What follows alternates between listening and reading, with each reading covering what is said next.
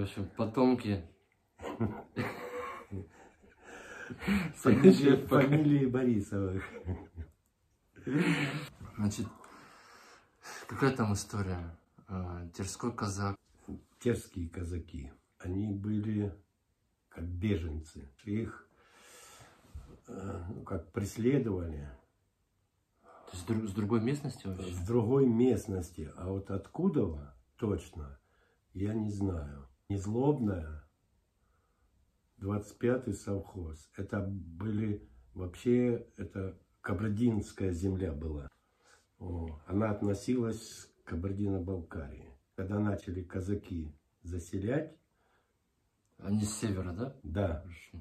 и вот они... А, как- а какая еще раз кабардинская была? Э, При, прииток? Незлобная, да? Вот это все кабардинское? Вот до Подкумка, до Подкумка. А, с- та До сторона. Подкумка та сторона, это все была Кабарда. А, После Подкумка сюда, это уже не кабардинские земли были. Это уже э, они относились к другому региону. 25-й совхоз, этот Притокский, он отно- это, относился к Кабарде. Это получается, что тирские казаки, вот которые вот этот Василий, да, он же жил прям как кавказец, то есть он наш носил кавказскую эту одежду, да, в попаху да, у него. да, да, да. Получается, он, он язык знал их какой-то? Он с ними взаимодействовал там? Я не знаю этого. Какие-то родственники жили в Грозном, его жены. Возможно, какие-то родственники. А Я вот ездил э, на кладбище, смотрел, э, фоткал э, эту, жену его, Анисию. М, У нее отчество Григорьевна. Да. А какая фамилия, не- непонятно. М-м. Ну, что-то не русская была, да? Да, что-то... Где уже... М. Ну, они, понимаешь, они еще фамилии э, были измененные. Изменяли, и отчество изменяли, чтобы не преследовали. Поэтому То есть даже может быть вымышленное отчество, да? может быть и вымышленное отчество. Так, ладно, давайте тогда вернемся к этим, к Ани, Анисе родственникам. Давайте попробуем Да, вспомнить. вот, а ее родственники, вот они жили, приезжали они вот, то ли с Осетии, то ли с Чечни.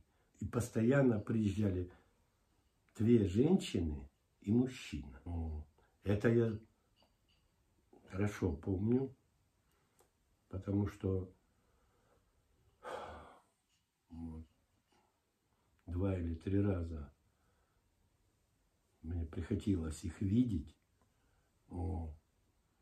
То, что они все, я тогда удивлялся, они все тогда были в длинных платьях, в этих платках. А как они выглядели?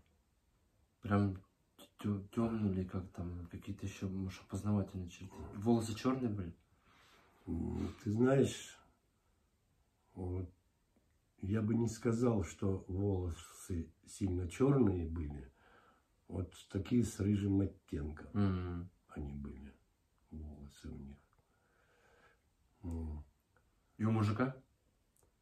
А, И, ты знаешь, и у мужика тоже. Он бородатый был? Да, он с бородой был. Ну, борода небольшая. Ему Мгм. тогда было в пределах, может, 40 лет. Им всем было.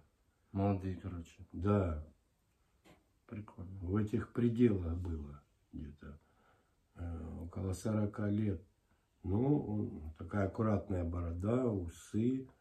о, И он приезжал всегда в этой Шапке, в этой. Папаха? Да. М. Всегда он был в этой А папахе. приезжали на чем они? На лошадях или на машине? Нет.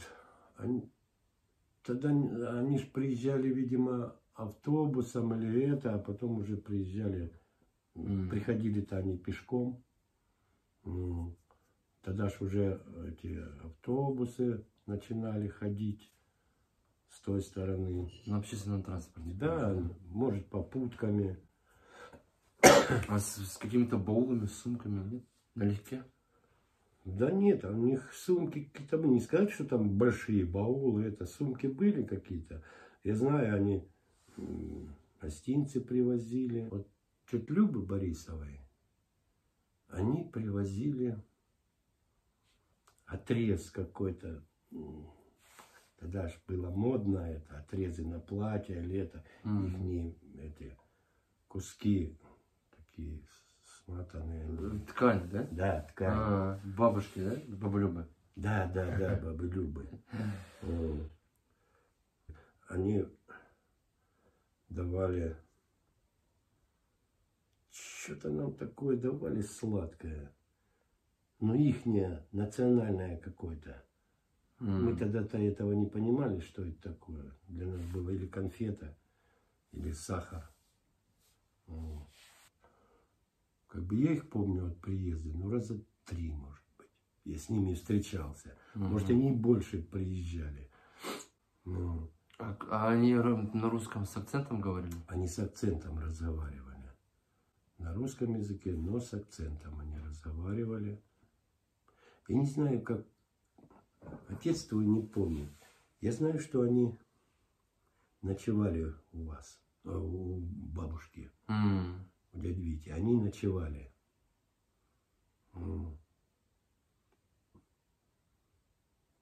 Дядь Коль, а давайте вот подумаем, вот если у нас сейчас такая задача вот перед вами стоит найти этих, найти этих людей, как, кому мы могли бы, кого мы могли бы спросить? Единственные, кто могли знать, вот дядь Миша похоронили вот недавно, неделю назад. Но он уже года три, наверное, он не, зна, не разговаривал, mm. никого нет.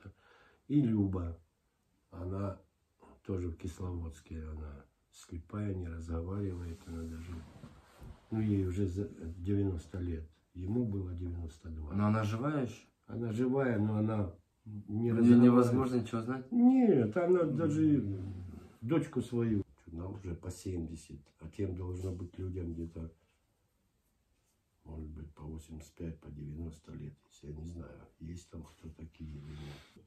Плохо, конечно, что э, тогда э, родители замкнулись и ничего нам не рассказали. Угу. То ли чего-то боялись в то время. Кто его знает? Какая-то причина была. Понимаешь, какая? Мы все остались просто в тупике. Они ездили вот Куда, я не помню. Не знаю, они ездили к этим родственникам в Осетию mm. или куда, когда приехали. А кто, кто, кто ездил? Дядя Ваня, вот старший. А, старший. Да. Брат моего дедушки родной, да? Да, да, Он да. ездил к ним. Он а ездил... в Осетию или в Чечню? Или в Осетию, или в Чечню, кто его знает. Когда они уже здесь купили хату, и они ездили. И те и они приезжали, когда дядя Ваня умер, они приезжали на похороны. А, нифига себе. Понимаешь? Они приезжали, были на похоронах у дяди Вани. Да? да. Ты даже и был батя мой там на похоронах. Конечно, тогда все были Тетя на Люся. похороны. И тетя Люся, и... При этом они не помнят ни хрена. Ну, потому что я это уже я с армии пришел, когда он умер. Вот. И они, я их узнал, э, вот этого мужчину узнал по его и этих женщин. Между прочим, их тогда было больше. Они приезжали на похороны. Mm-hmm. Их было человек шесть, наверное. Почему они не помнят? Я этого не знаю, не могу понять.